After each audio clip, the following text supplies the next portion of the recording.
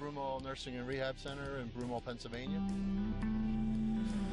Worked here 20 years ago, and now we've been back for the last two years renovating common hall areas, patient rooms, and their waiting areas. We decided to do a renovation uh, of our subacute unit. Um, it had aged and we needed to be more attractive to the public. Vendor who's reliable, trustworthy, and who steers me in the right direction in terms of materials and process. I Had to remove all the wall covering, prepare the walls, install new wall covering, paint all the trim, refinish all the natural finish trim throughout, and all without any environmental impact, zero smell.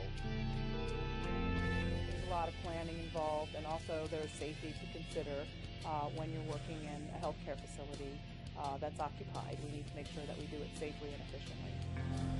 It was all about safety. The big challenge with this job was to keep the air clean. We didn't want to add any smell to paint to any other area than where we were working. We knew that um, we could depend on them to do a good, safe job and um, for it to be possible to do it while the, the staff and the residents were in place. Well, it was like a transformation. It's beautiful. The public loves it. The residents and the patients love it. The docs love it. Uh, so when we tour folks on our renovated unit, everybody really thinks that the ambiance is much different and better than they expected. We're thrilled with the way it came out.